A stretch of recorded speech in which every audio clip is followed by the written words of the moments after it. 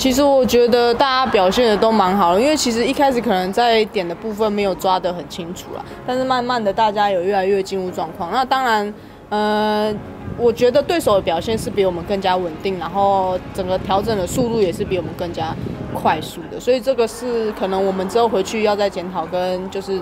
思考的一个部分。嗯，其实我觉得大家努力到现在，其实。都已经很棒。那虽然到最后的结果可能不如我们预期，但是我觉得在我们的团队的氛围，还有一整场比赛的感觉经验来说，对我们来说都是很好的。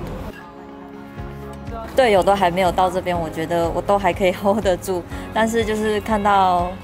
熟悉的队友朋友这样子来给我们鼓励拥抱，对，就有点撑不住了。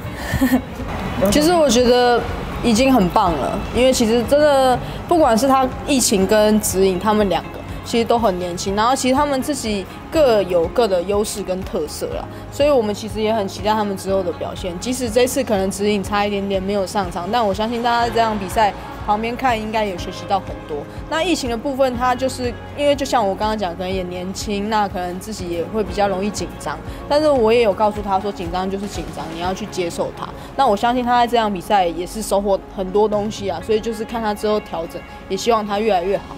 没关系，做的很好。我设定这是我的最后一届亚运，感触就是就是很开心可以跟大家一起努力，对，然后。嗯，多的其他的好像没有，就是很开心，就是我们大家整个团队的氛围是很好的，然后大家的呃呃目标也都是很明确的，然后大家的感情也都是非常融洽的，对，这就是有一个一家人的这种感觉，对，嗯，继续加油，我们可以再更棒的，嗯。